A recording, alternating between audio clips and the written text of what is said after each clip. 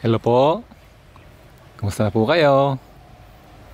Atin pong i-share ngayon yung technique kung paano magparami ng bunga ng, ah, ng ating mga talong. At kung paano din maiwasan yung napakaraming insekto na hindi halos ma masuway na umaatake sa ating mga talong. Bago po yan, nais ko muna kayong anyayahang mag-subscribe kung gusto nyong matuto at magkaroon ng maraming kaalaman sa ating channel. Pakiclick ninyo na rin yung bell para ma- mabigyan kayo ng notification ng ating mga bagong video na naniniwala pa ako po akong magbibigay sa inyo ng marami pang kaalaman para mag-succeed kayo sa pagsasaka at pagtatanim. Ah, itong talong po na ito ay itinanim noong October 6. Ah, medyo o kwan, 6 or mga 10, ang 10 ganon. At ang height nito ay mga mahigit 1 and a half uh, 1 and a half meter. Oh, so, kung ipupokus natin sa malayo, bababa ko ng konti. Makita nyo, napakantaas na po siya. Hmm, Ang talong na yan ay prolifica. Hmm, Yan yung talong na ah, galing sa Seedworks. Ah, ito yung talong na umaabot ng apat hanggang limang araw bago malanta. So ang haba ng shelf life po nito. Na napakaganda sa biyahe at ah, hindi rin agad-agad nasisira. Ang talong na ito ay bagamat hindi kalakihan isang dangkal lang yung karamihan ng mga pag yung laki ng bunga nito kinuha na yung mga malalaki at ang yung mga naiwan na yung mga maliliit na lamang napakarami po nito pong bumunga. Ah, talagang ang hindi gusto dito yung maliliit hindi siya pang torta. Pero pag pinakbet ito yung maga- ah, maganda. Talagang pang pinakbet talaga. Masarap din yung lasa nito. At sa ngayon na ah, mainit, ito yung mga gusto, mga gusto ng tenderang ibenta dahil ma- mahirap o matagal siyang malanta. Ah, hindi siya hindi mo siya kailangang bisik-bisikan ng kon ng tubig na hindi kagaya ng yung ibang mga variety na kon na nalalanta kagad lalo na kapag ah, maraming abono at kapapatubig mo ah, pipitasin. Isang araw pa lang yan na lanta na. Eto gagaling sinabi ko hanggang kahit limang araw pa to eh. Lalo kapag ilalagay mo dito yung calcium nitrate ang hab- maabot pa to ng isang linggo hindi siya basta-basta nalalanta. Kaya gustong gusto ito ng mga tindera ngayon. Sa mga pinagbebentahan ko ng tal- yung bulaklak ng kalabasa, yung sili, na, na dito lang sa kanyang tabi. Ang makikita mong benta nila ay itong prolifica. Ma- makikilala mo ito kagad dahil hindi masyadong kalakihan tapos hindi hindi dark yung kanyang pagka violet medyo it- ito yung ano kanyang itsura.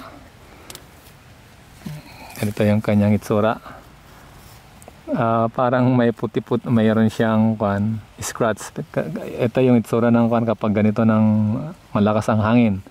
Pag malakas ang hangin at ah, sumasayaw-sayaw yan nagkakaroon ng ganyang scratch. Ewan ko na. pero wala pong uod yan. Uh, isi-share ko din sa inyo kung anong technique no kung bakit kan hindi ko natin ni-sprayhan kaya nag-develop siya ng resistance na in, uh, wala na ring mga uod doon karamihan ng kanyang mga bunga wala na ring uod paano natin ginawa yon Ang ginawa po natin dito, inisprayan natin dito sa silong ng kwan. Kaya lang may mga tumubo na naman na damo. Sa silong nito, inisprayan natin siya ng round, yung round up glyphosate. No? Uh, natuyo yung mga damo. Wala ding pagkukublihan yung mga insekto na nakakaistorbo sa talong. Ngayon, nung natuyo yung damo, hindi ko na rin inisprehan itong talong. So, ang nangyari, ah, nag-develop siya ng resistance sa uh, may pa rin, pa rin, pa rin mga iba, may pa rin mga uh, tinatake ng insekto pero bibihira na. Pero karamihan na ng mga sumunod ay magaganda. Ito, ito makita mo. Magaganda na yung mga kwan nito. May mga mangilan-ilan lang. Hindi kagaya dati na kapag ini-sprayan mo, halos kalahati pa rin yung nasisira. Pero ngayon, nag-develop na rin ng resistant sa insekto itong talong. Kaya wala na rin siyang uh, insekto. Pero bago ko pala makalimutan, ang sikreto kung paano padamihin. Ganyan yung bunga ng talong na ito ay abunuhan niyo po siya ng marami. Uh, nakita niyo naman yung kan, uh, kung hindi niyo alam yung pag-aabono dito, punta kayo sa kung paano maglagay ng pataba, yung video ko yon, yung dakot ko. Yung isang dakot ko, tatlong puno lang yung paglalagyan nito. Tatlong puno ng talong. Uh, at saka nyo patubigan. Uh, yun na rin ng abonong gagamitin yung puti. Lalo na kapag ngayon hindi na kan kailangan na lagyan pa to ng ng complete. Lalo tong prolifica marami siyang mamunga hindi kailangan ng pampabunga to. Hindi, hindi na kailangan ng uh, potassium nitrate o muriate of potas kasi sa pangalan niyang prolifica eh talagang grabe siya kung mamunga so yan ang sikreto kung bakit uh, marami siyang bunga ngayon So, uh, magandang itanim ito sa tagulan. Ito karamihan yung pinipiling variety ng na tinatanim ng mga magtatalong sa mga medyo upland. Sa mga uh, lalo ngayong tagulan, yung mga tagalolan, hindi sila masyadong nakakapagtanim ngayon ng talong. So advantage ng mga taga-upland na magtanim ng talong. So itong buwan na to, nagpupunla na po sila. Kasi uh, itong July, August pagsisimula naman gumaganda yung presyo ng talong.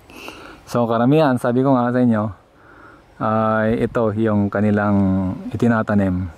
Dahil hindi nabubulok hindi oh, hindi nabubulok kagad matagal yung kanyang shelf life marami kong mamunga tapos pero lahat ng talong pwede mo siyang i-develop ng resistant hindi lang itong prolifica pwedeng i-develop ng resistant.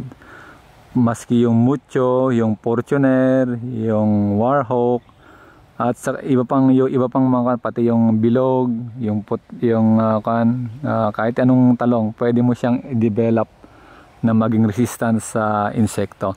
So ang gagawin mo lang, straight mo lang yung tatlong linggo na hindi siya esprehan.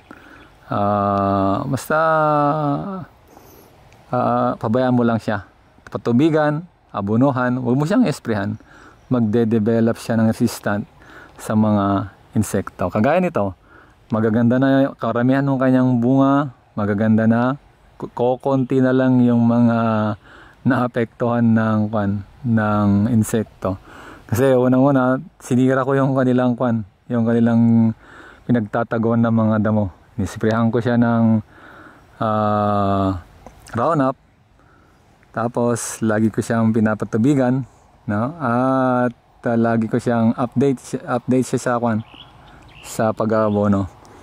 Every, kasi itong talong mas matakaw kaysa sili. Every 2 weeks ito nilalagyan ko ng abono para marami siyang kakainin, marami din kong bubunga. So, kayong mga farmer na gustong magtanim, uh, inire-recommend ko to ka pa, talagang ito ay subok ko na sa tagulan. Maganda, matibay yung kanyang kwan, yung kanyang bulaklak, hindi siya basta-basta nalalagat ag marami. Abunuhan nyo lang ng marami para medyo lumaki yung kanyang bunga at marami kung bumunga. Ah, yon ang gusto kong ah, i- i-share sa inyo. Sana may natutunan kayo. Nang sa ganon, mayroong kayong gagawin at mayroong kayong pagkakapirahan. Ito, kwan lang ito, mga 500 na seedlings lang ito. Pero sa dami ng bunga niya niya ngayon, baka baka kulang-kulang 10 kilo ang pwedeng pitasin dito every other day or every 3 to 4 days ganyan. Pero ngayon, kapipitas lang namin parang hindi napitasan eh. Sa dami ng kanyang bunga. So maraming salamat. Ah, balik ulit kayo. Marami po po tayong video na isi-share na alam ko po kapupulutan nyo ng aral at ma- ma- magiging magaling din kayong magsasaka katulad ko. At God bless po.